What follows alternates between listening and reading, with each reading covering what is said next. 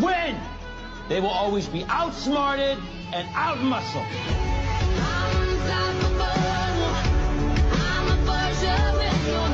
Power.